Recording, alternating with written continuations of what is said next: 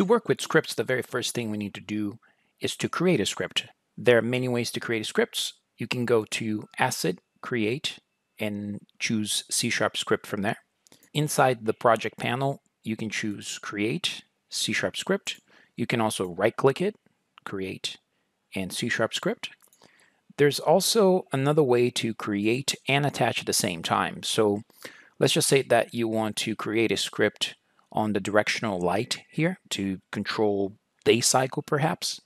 You can click on Add Components, scroll all the way down to the bottom here, click Add Script, and at this point you can name it and click Create and Add. So let's go ahead and create, actually let's create a folder in here so we can keep our scripts organized. I'm just going to call this scripts. And inside this folder, just I have the folder selected, so I'm going to right click it, create script, and I'm going to call one call. I'm going to create one call main main player script. That's it.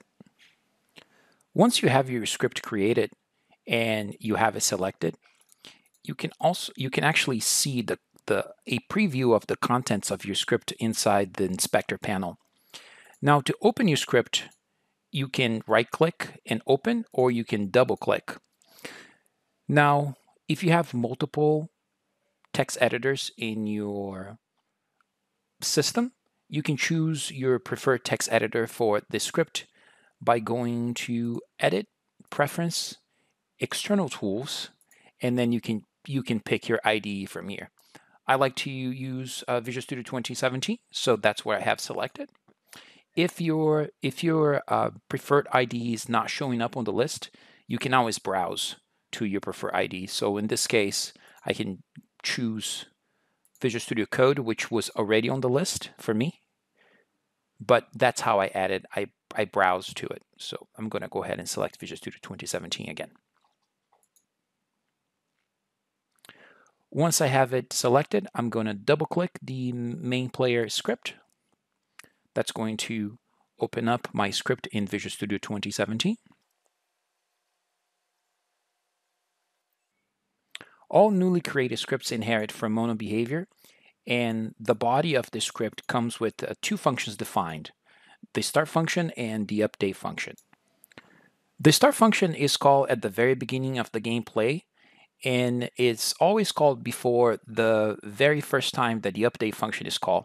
This is um this is a good place to to set your the initial values of your variables. So, so let's just say in this main player script, let's just say that we have a variable here that holds the health of the player.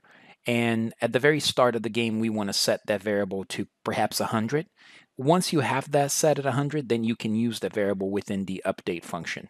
Now, the update function is a function that is called many, many times per second. So if you if your game is running at 60 frames per second, this function is being called 60 times per second. This is where you're going to put the the code to handle user input to move a player, to raise events. This is the this is the main function that actually runs the game.